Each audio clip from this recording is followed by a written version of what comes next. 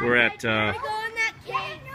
we're at San Pedro Springs in San Antonio. This is the second oldest municipal park in uh, in the United States.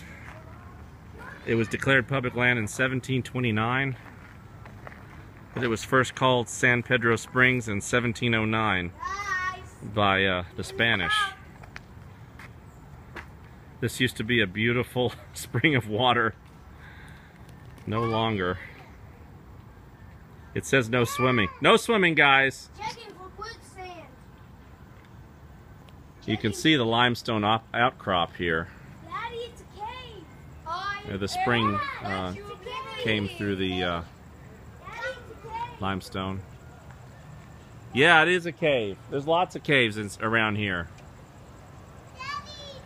Me and the Statue of Liberty. So basically, San Antonio was founded around this spring. Dad, look at me. Guys, don't sink. Be careful. Don't die.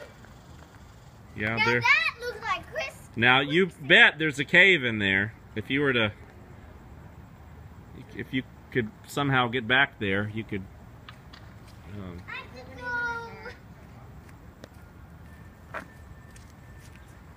Right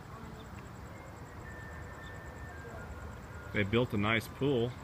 I guess where the springs used to be. You can see where it used to.